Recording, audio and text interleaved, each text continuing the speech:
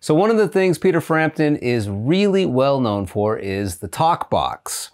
And he uses this on Show Me the Way and Do You Feel Like We Do. So what we're going to do is just take a look at how the talk box works. I've already shown you the lead parts. I've shown you the lead lines. So I'm going to assume that you know those, or you can just check out this section and see how it works. So I've got the talk box going in on the floor. The tube is going into the talk box, which is a little speaker. I'm using a Banshee talk box. The guitar is going in there as well. You can bypass the Banshee and go straight into the amplifier if you want a standard guitar sound, but I'm using the talk box sound. And then this microphone is picking up the sound of the tube. So what I do is I just play.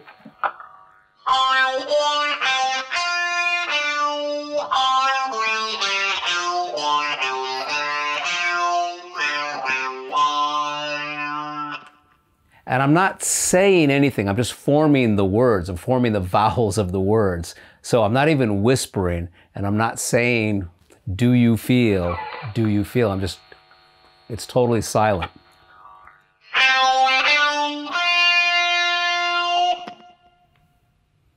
Kind of hard to explain. I'm sure if you would try this, you would get the hang of it rather quickly. But if I go ahead and play through the first solo for Show Me the Way, along with the talk box, it sounds something like this.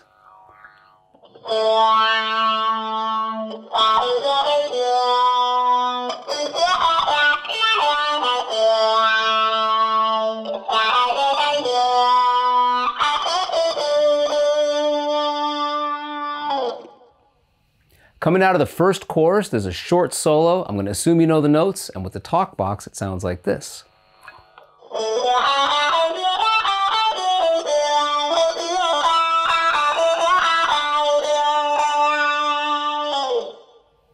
So now let's take a look at the main solo. I'm going to assume that you know the notes to the main solo that I've taught in a previous section of this lesson, so now I'm just going to perform them with the talk box. Here we go.